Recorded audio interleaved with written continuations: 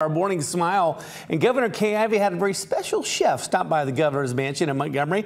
Opelika native and Master Chef Junior winner Bryson McGlynn with the awesome nickname they call him Cheese Curd. Cheese Curd. Yeah. We had him here he in the good. studio. He did a little cooking for us. Well, Governor Ivey invited the 12-year-old, this chef, to treat her and her friends to a meal.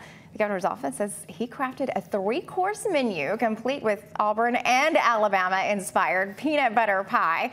After lunch, Governor Ivey declared McGlynn chef for the day in the state of Alabama.